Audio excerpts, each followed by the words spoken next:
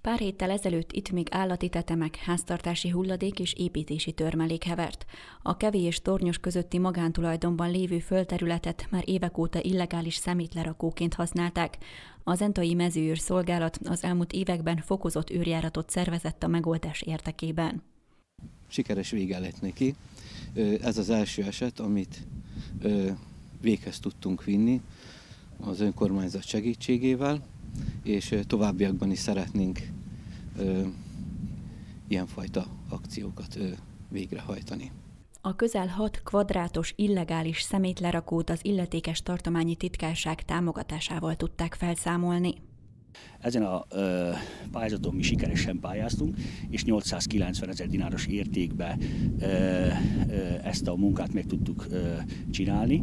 Ez Tornyos és Kevi helyi közösség ö, közös ö, részén van, ahol egy ö, nagyon régi illegális szemétlerakó hely volt. Ezt fel tudtuk számolni. A kivitelező az az Entai DTD Vodoprivreda cég volt, aki egy hét alatt ezt a munkát ö, elvégezte. Zenta község területén közel 20 kisebb illegális szemétlerakó található meg. Az illetékesek hozzátették, hogy mindannyiunk közös érdeke, hogy vigyázzunk a környezetünkre.